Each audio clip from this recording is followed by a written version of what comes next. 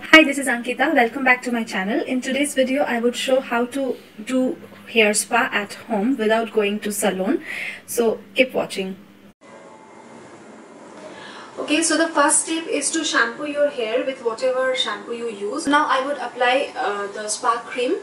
So uh, wet hair is always more effective in absorbing the spa cream. So make sure that first you uh, shampoo your hair and in the damp hair you have to apply the spa mask.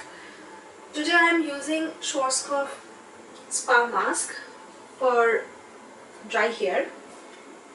This is really very effective in repairing my dry hair. If you have uh, chemical treated hair or split ends then it would really work very good and I use this like once in a month since I don't get much time.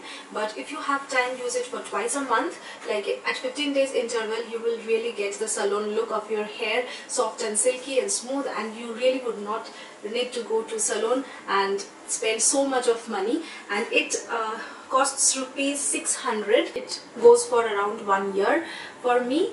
Uh, and you can of course there are many other spa creams in the market from L'Oreal, from Matrix, from many other brands and you can use them too. All of them are really good and effective. So now I would split my hair. So this is how the mask looks like.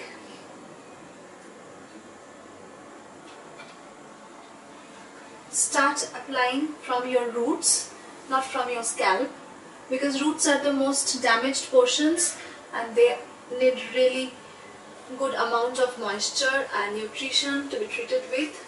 So start from the lower portion of your hair like this.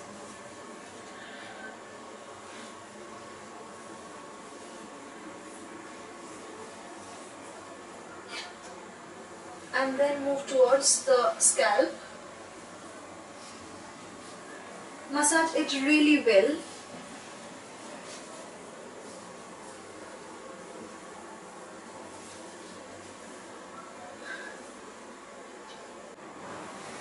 So I have completed applying throughout my hair including the roots and the scalp and now I would tie it up in a bun. And now I would apply this hair mask cap so that my mask remains intact.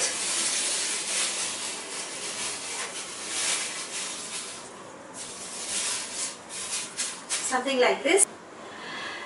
Now take one hair dryer. I am using Philips hair dryer and it will give you the same steam effect that you get in a salon. I will start the dryer.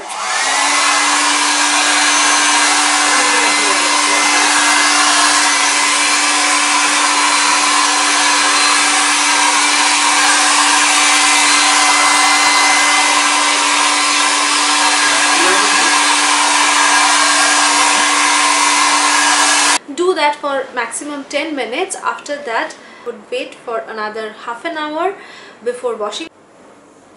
And in case if, if you don't have a hair dryer you can also use a towel soaked in warm water. You can wrap that all over your head of course above the cap and you will get the same effect of the heating effect or the steaming effect and you can uh, continue that for 10 minutes. But remember one thing, do not shampoo your hair again after the spa. You have to wash the hair with normal water and do not use any shampoo. That will help the nutrition and the moisture being locked in your hair for a long period of time.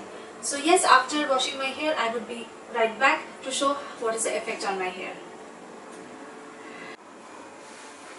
So I have washed my hair with normal water after sitting for around uh, 45 minutes and now it really feels so soft and smooth my hair has become and I end up this process by using a serum, hair serum. This is a Streax Pro hair serum but you can use anything that suits you better. Just pump a little bit and apply to all your roots throughout the tips of your hair. And yes, you're done. So yes guys, that was all about my today's video. I hope you guys found this useful. You can try it at home. See you in my next video. I'm signing off. Till then, bye.